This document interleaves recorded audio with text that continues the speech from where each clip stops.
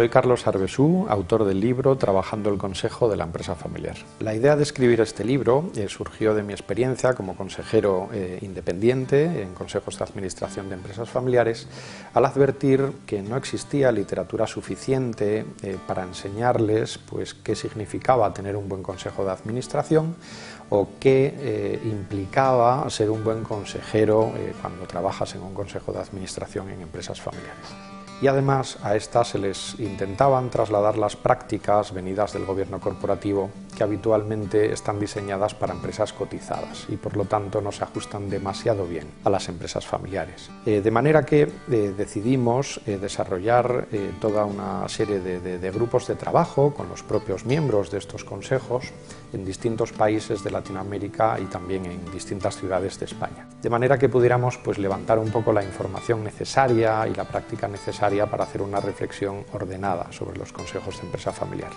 Este trabajo pues, tuvo una duración de unos cuatro años en diferentes países, en diferentes ciudades de España. Por estos grupos de trabajo pues, pasaron unos 500 eh, eh, eh, consejeros de empresas familiares. bien, y el resultado después pues, es lo que se muestra en el contenido del libro Trabajando el Consejo de la Empresa Familiar.